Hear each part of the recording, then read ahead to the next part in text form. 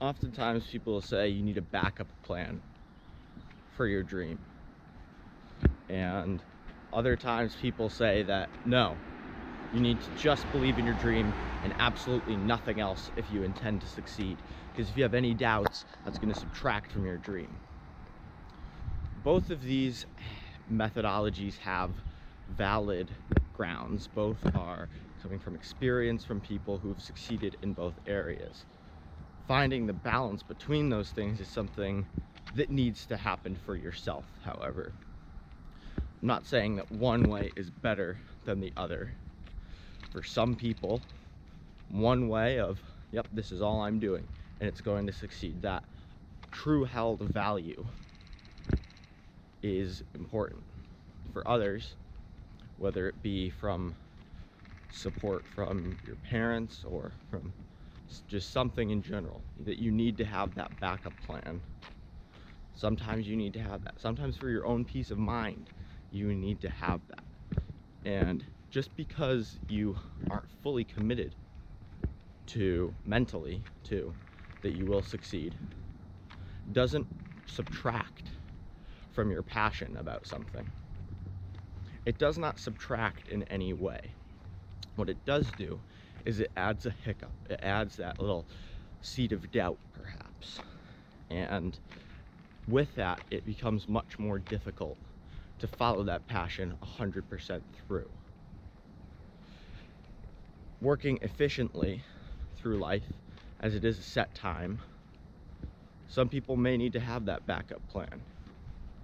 However, people who are truly passionate about things and are able to see their vision and see nothing else but that vision are able to succeed more expeditiously.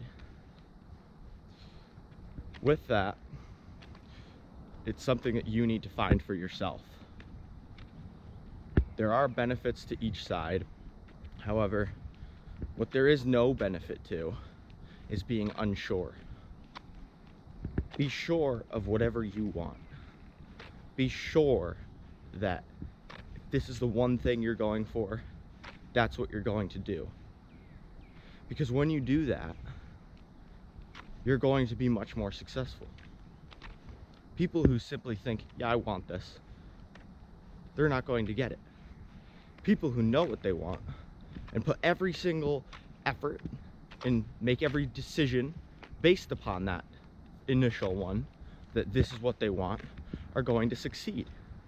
When you know what you want to succeed and you know how you're going to do it, it's a lot easier to get rid of the bad things because there's a clear defined path of what needs to happen and how you're going to get there. If you have a backup plan, same thing. You know exactly what you want and you know the things that you need. The backup plan is just another part of the process for you. If you truly do succeed on your first initial goal, the backup plan will have enhanced you. Perhaps you may not be on the same level as somebody who simply chose one discipline as what they should do, but you will have got there.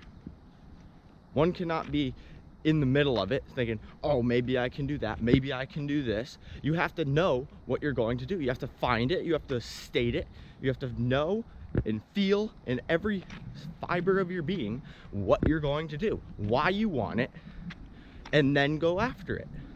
There's no time for doubt. There's no time for deliberation on maybe I should be doing this when you know your passion.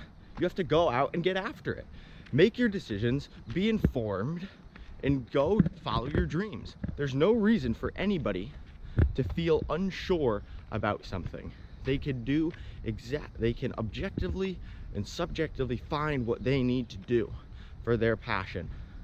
And if you do that i guarantee you'll succeed.